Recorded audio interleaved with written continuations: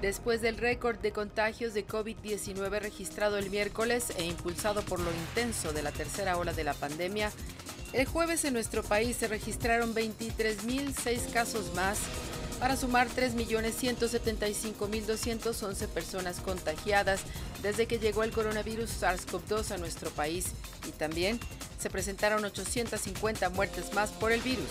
por lo que los fallecimientos se elevaron a 251.319, según se desprende del reporte diario emitido por la Secretaría de Salud Federal. Ese reporte indica también que los casos estimados mantienen su tendencia a la alza,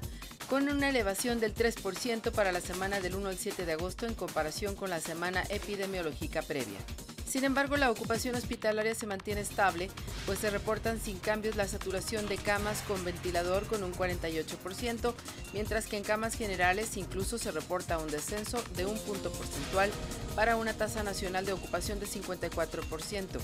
En cuanto a la actualización de la Estrategia Nacional de Vacunación, se informó que ayer se vacunó a 634.325 personas con un acumulado de 79.399.398 dosis aplicadas desde diciembre pasado. Agrega que de los 55.643.238 personas que han recibido al menos una dosis del antígeno anti-COVID, 30.2 millones han completado su esquema de inmunización, mientras que 25.4 millones tienen una dosis. La dependencia federal detalló que hasta el jueves se tienen registrados 138.027 casos activos, con una tasa de incidencia de 107.02